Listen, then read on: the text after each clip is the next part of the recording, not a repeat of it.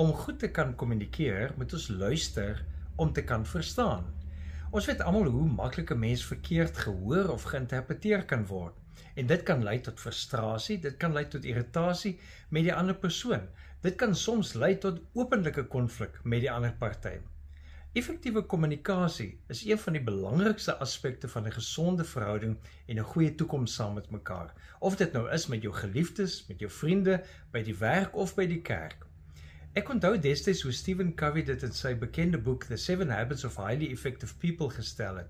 Hy het dit so in Engels gesê: Seek first to understand, then to be understood. Probeer om eers te verstaan voordat jy probeer om jouself verstaanbaar te maak.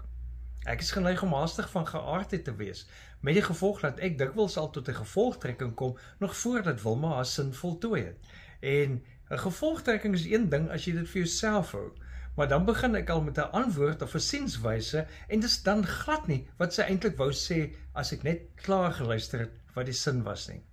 En toe ek vandag hierdie wysheid in Spreuke lees, moes ek grimlag want ek moet tot my skande erken dis op my van toepassing. Spreuke 18 vers 13 sê: Wie antwoord voor hy die vraag gehoor het, is dwaas en kom in die skande. As ons te haastig is om te praat voordat ons volledig geluister het, is die gevolg dat wankommunikasie gebeur.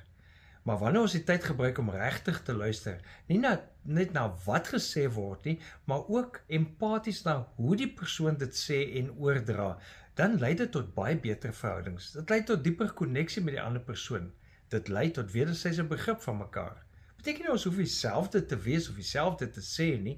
Ons kan van mekaar ook verskil, maar ons bly van mekaar hou en mekaar vashou omdat ons beter kommunikeer.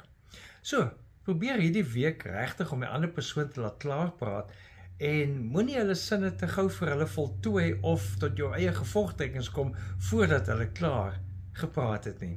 Ek weet dit is 'n stywe opdrag, maar kom ons oefen want die interessante is dat ek vandag besef ek verwag eintlik van Jesus Christus om die hele tyd na my te luister, om my stories laat te praat. En as ek 'n volgeling van Jesus Christus is, moet ek dieselfde met ander doen. So, met beter en oper kommunikasie, dink ek gaan die wêreld 'n baie beter plek wees en dit kan begin by my en by jou. Leef geïnspireerd.